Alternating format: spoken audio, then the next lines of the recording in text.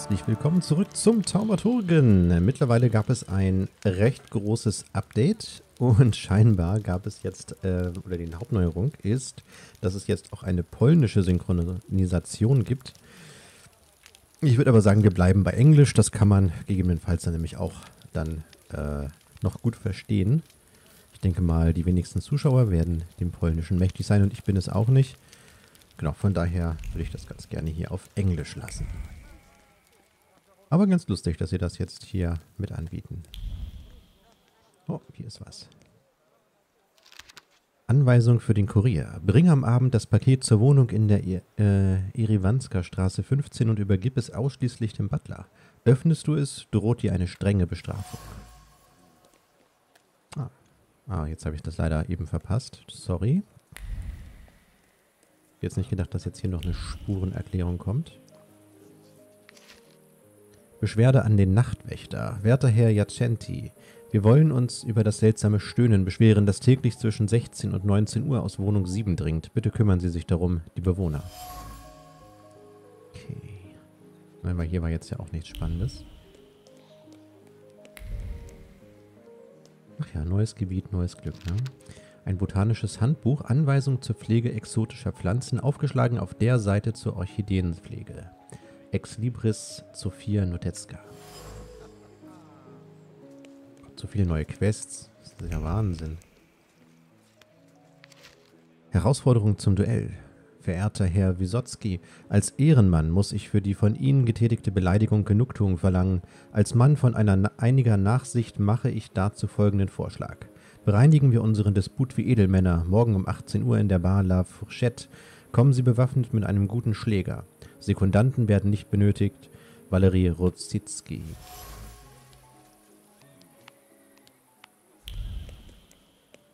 Aber wir suchen ja nach Hinweisen zu Rocky. Rechnung für Orangen, Trauben, Champagner, Kerzen und Entenfleisch. Von Jan Rotzki bezahlt. Ungewöhnliches Instrument. Am 15. September um 20 Uhr wird ein Geburtstagsdinner für den Pianisten Jan Rotzki in dessen Wohnung in der Posner Straße 11 abgehalten. Zur Feier des Anlasses erhalten Musikfreunde aus der Oberschicht Gelegenheit, seinen kostbarsten Besitz zu bewundern. Ein einzigartiges Piano, das einst Franz Liszt gehörte. Der Jubilar wird gewillten Gästen wohl die Möglichkeit geben, das Instrument zu bespielen und selbst Zeugen der schönen Töne zu werden, die es hervorbringt. Okay, ja, es ist gerade Abend, das passt also ganz gut. Mal gucken, ob wir da jetzt... Ah ja, perfekt. Man sagt, dass wir durch Musik ausdrücken können, was sich nicht in Worte fassen lässt. Leider konnte ich lediglich meine Unbegabtheit ausdrücken. Trotzdem war es schön, auf Liszt's Klavier einen einfachen Walzer zu spielen.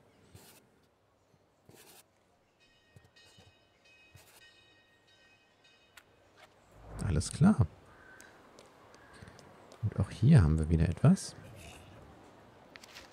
Plakat Konditorei La Plume, oft besucht von herausragenden Gästen wie Zenon Przesmycki, Wladislaw Raymond und Xaveri Donikowski. Lädt sie ein, köstliche Buttermilch und andere Delikatessen zu probieren. Plebansker Straße 5. So, wir haben jetzt so viele neue Quests bekommen hier. Wahnsinn. Ähm, ich würde trotzdem erstmal die machen, die jetzt hier bald ablaufen, wie zum Beispiel der Herrenclub.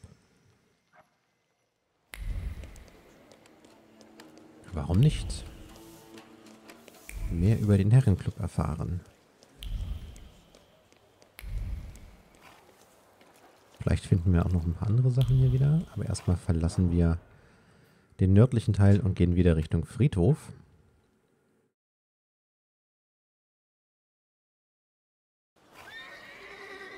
Da wären wir. Hier werden wir jetzt ja wahrscheinlich nicht so viel Neues finden. Ah, hier irgendwo soll etwas sein. Ah, gut, nichts Neues finden ist gut, ne? Tagebuch eines Eiferers. Menschliche Verworfenheit kennt keine Grenzen. Ich hörte von einem Nachbarn, dass eine Art Herrenclub sich regelmäßig in Oberst äh, Viatchevs Wohnung einfindet. Seit Jahren lädt der Oberst seine Freunde dorthin ein und das ist auch die einzige Aufnahmebedingung. Leider hat Viatchev aufgrund seines hohen Alters nicht mehr alle Sinne beisammen. Zweifelhafte Gestalten nutzen das aus und erzählen dem Alten, sie würden einander seit Jahren kennen, und, um Zugang zu den Lustbarkeiten zu erhaschen, die er seinen Gästen bietet. Das geht ja mal gar nicht.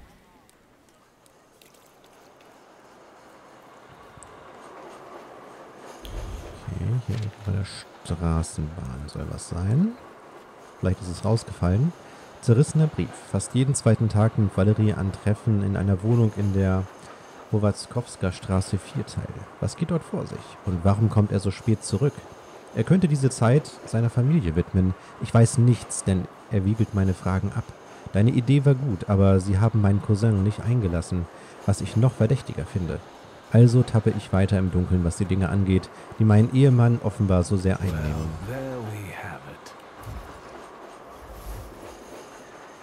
In seiner Wohnung in der Powazkowska Straße 4 hält Oberst Vjatschew jeden zweiten Tag um 20 Uhr Treffen des Herrenclubs ab.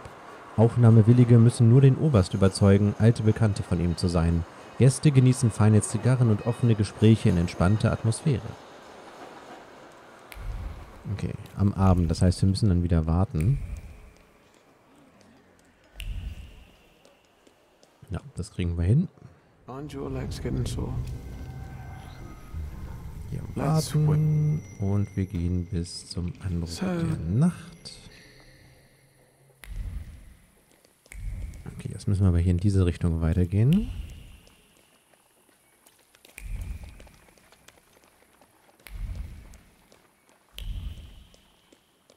Ah, hier haben sie sich alle versammelt. Der Tabakgeruch erinnert mich an meinen Vater. Ich glaube, er hat dieselbe Marke geraucht.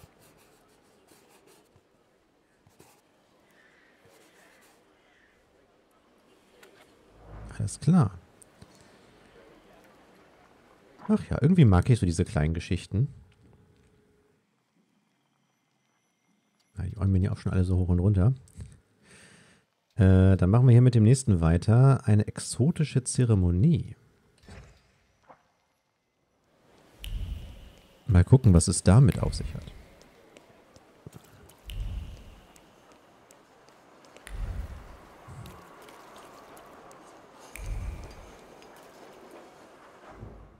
So, wieder hier rein.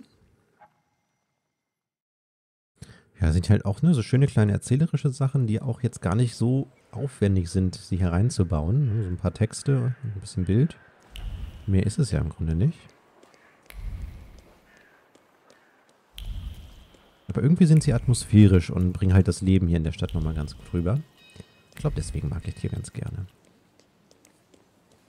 So, was haben wir hier noch? Beschwerde. Sehr geehrte Damen und Herren, Ihr Umgang mit Ihren Kunden ist erbärmlich. Anscheinend haben manche mehr Rechte als andere und Stammkunden zählen nichts. Jeden Nachmittag komme ich, um nach dem Tisch am Fenster zu fragen, und jeden Tag ist er für Herrn Czesmitsky äh, reserviert. Dieser mittelmäßige Schriftsteller, um den Sie sich so bemühen, kommt jeden Tag zu spät. Ich verlange, dass Sie den besten Tisch der Konditorei jenen Gästen zur Verfügung stellen, die sich zu benehmen wissen. Mit freundlichen Grüßen, Karol Meicher. Eieieiei. Was für unangenehme Personen. Gedichtnotiz in einem Satiremagazin Gesundheitsfolter. Ich war gestern Abend bei Dr. Ja, äh, Jasinski in der Plebanska Straße. Wie war's? Zuerst hat er mir eine hämmernde Rückenmassage verpasst, dann alle meine Knochen gestreckt und zuletzt meine Wirbel bis zum Knirschen gerichtet. Es hat die ganze Zeit höllisch geschmerzt, aber jetzt bin ich so gut wie neu. Wozu brauchst du dafür einen Arzt? Du hast mir doch schon oft erzählt, deine Frau schlägt dich mit dem Nudelholz, wenn sie dich ärgert. Ja, aber Dr. Jasinski ist wenigstens still dabei. ähm.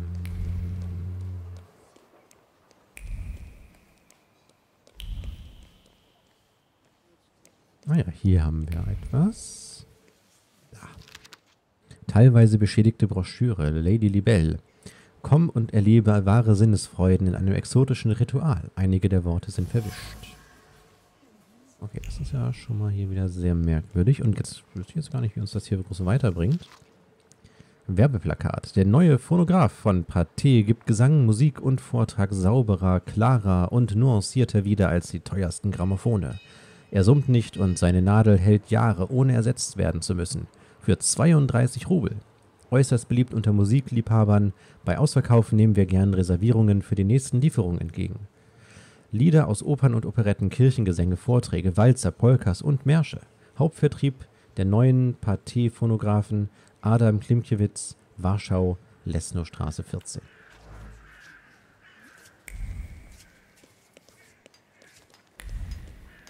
Hier ist auch noch was. Vielleicht. Eine Presseanzeige. Das Haus an der Erivanska Straße 16. Groß gepflegt und hell. Besichtigung 16. September zwischen 14 und 19 Uhr. Eigentümer Sophia und Zbigniew Notecki.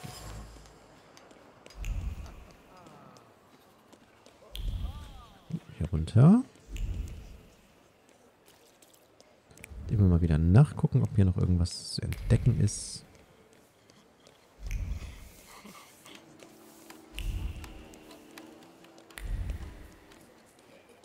Schön, wie hier die Straße so bemalt ist. Hier soll was sein. Warte mal, wir können ja auch hier einmal durchgucken. Okay, der, der Wiener Bahnhof. Foto. Das Foto zeigt eine Frau in Dessous, die ihr Korsett schnürt. Altes Foto. Unterschrift Lady Di Secrets. Not on my watch. In der Erivanska Straße 7 residiert Lady Libelle, eine Luxuskurtisane, die gerne reist. Sie bietet ihren Kunden außergewöhnliches, außer das außergewöhnliche Erlebnis einer Zeremonie, die die Sinne verwöhnt. Okay. Das gucken wir uns natürlich mal an.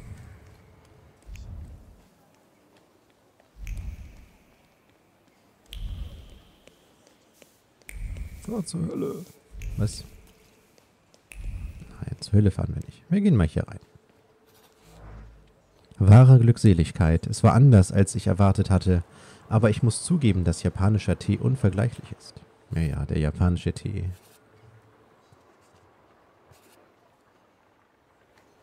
Yes, sir. Der Tee scheint geschmeckt zu haben. Brachiale Therapiesitzung.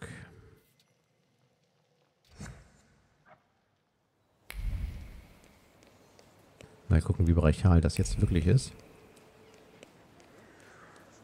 Gibt es hier noch mehr Tee? Können wir hier Tee trinken? Eiscreme. Der Preis des Erwachsenseins. Jeden Tag will ich mir das Gehirn wegpusten. Noch ein Preis des Erwachsenseins. Ich kann fünf Kugeln auf einmal essen und niemand kann es mir verbieten. Ha. So nämlich.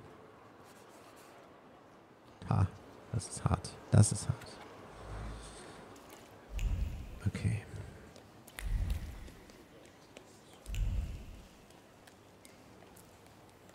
Haben wir hier noch liegen? Der Tageskurier Kleinanzeigen. Ich fertige Kleidung, Kostüme und Kleider nach, der neuesten, nach den neuesten Pariser Schnitten. Polewska Marczalkowska Straße 150. Der Warschauer Musikverein lädt zu einem Konzert in den Redute-Hallen mit Ziburowska Glasowna und gemischtem Chor. Slöjd Unterricht für junge Menschen, J. Schulski, Zorowka Straße 2 und die Nachrichten. Die Verordnung über die Lehrsprache an den Privatschulen des Königreichs wurde bekannt gegeben. Demonstrationen in, im mährischen Brünn. Ein bekannter Wundertäter ist tot. Der Leichnam von Raymond Kinley wurde nahe der Tower Bridge gefunden. Eine Meuterei brach auf dem österreichischen Kreuzer Panther aus. In Kopenhagen kamen die dänischen Minister in, zur Frage der Anwartschaft des Prinzen Karl auf den norwegischen Thron zusammen. Da. Ein Brief. Chess.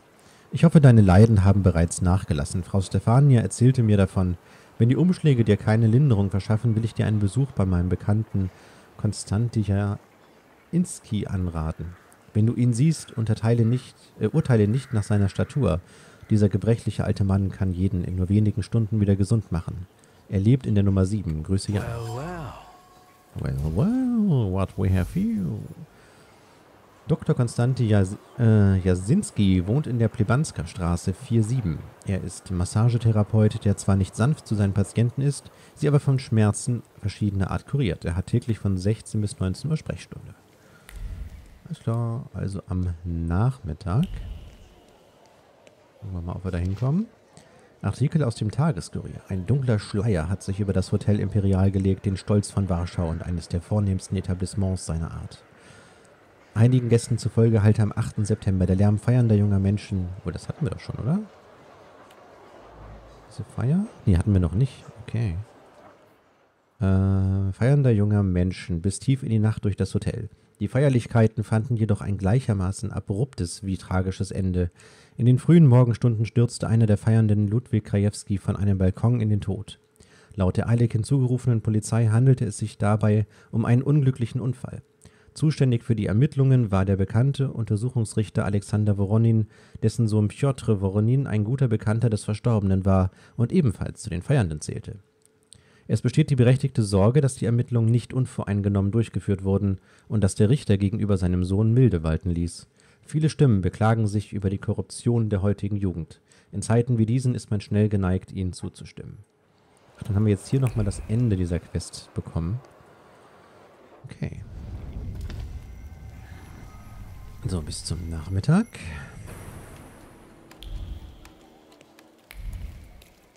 Was haben wir denn hier?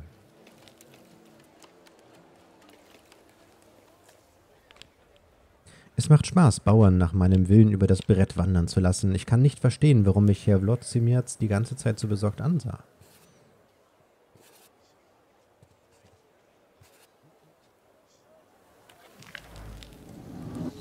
Oh, wir haben einen neuen Punkt bekommen. Den können wir dann demnächst mal einsetzen.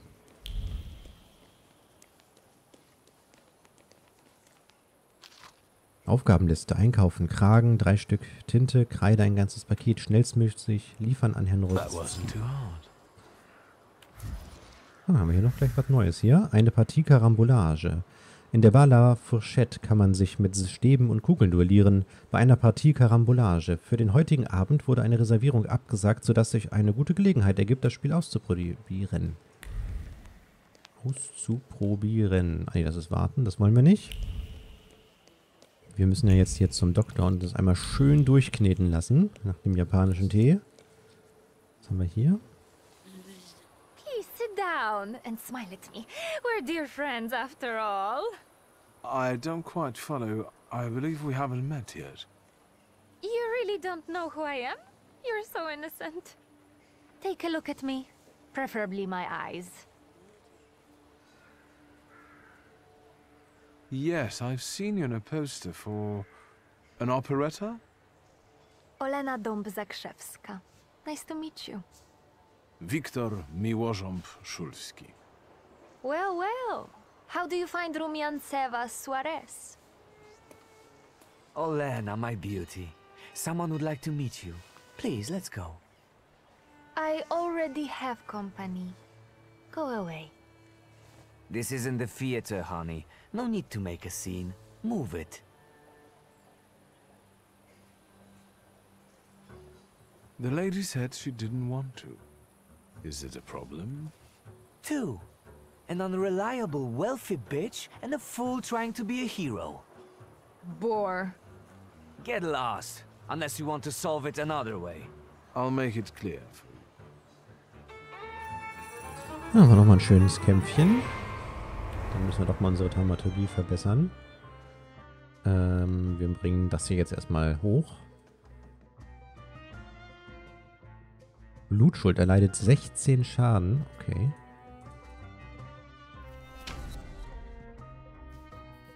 Was ist jetzt hier drin?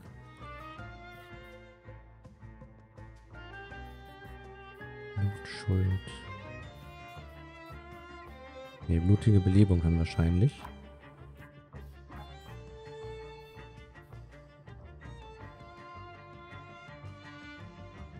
Schadensimpuls. Ah, damit kann ich die Fähigkeit aufwerten. Fokus. Was?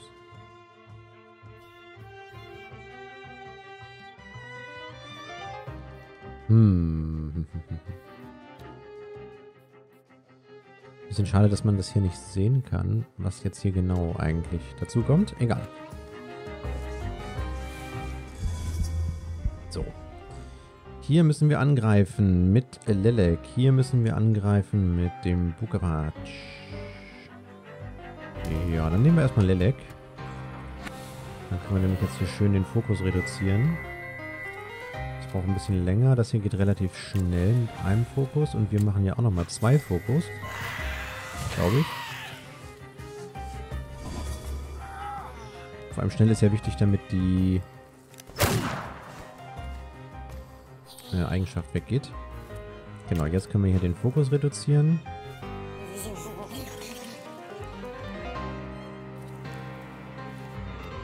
Bald rausnehmen. Das bringt alles nichts. Dann nehmen wir jetzt doch einfach mal Opür. Und der kann jetzt hier einfach mal blutige Buße machen. Oh, hier kann ich auch wie lange das dauert. Egal. Zack. Er ist eh raus. Und wir können jetzt ihn hier aus dem Kampf nehmen. Nummer 1 ist erledigt. Jetzt noch der Pistolentyp. So, da brauchen wir den Wukamatsch. Äh, das dauert ewig. Und dann werden wir auch hier einfach mal gepeinigt drauf ihn anwenden.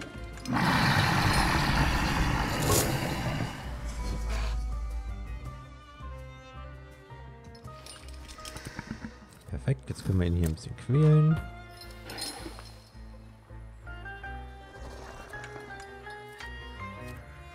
So, das ist sogar noch vor ihm dran, weil er auch sehr viele Runden braucht, bis er zum Zug kommt. Das ist richtig gut.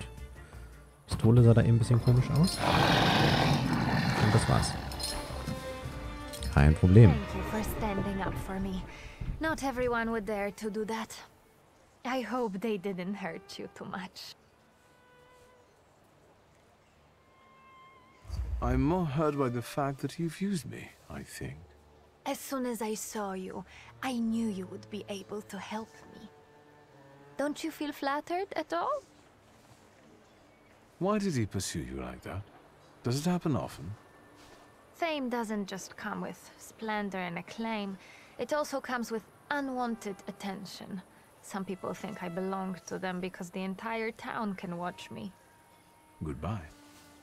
Or perhaps see you later, dear Mr. Schulski. Ja, vielleicht. So, aber jetzt brauchen wir noch unsere Massage. Was machen wir noch?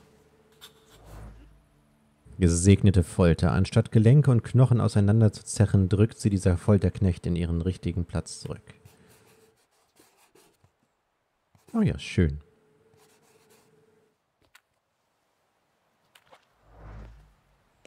Auch wieder ein bisschen Zeit vergangen. Könnt das ja noch lesen. Äh, ein dunkler Schleier hat sich über das... Achso, ne, das äh, kennen wir doch schon, oder? Ja, das kennen wir schon. Gibt trotzdem Erfahrung. Gut, dann vielen Dank fürs Zuschauen und bis zum nächsten Mal.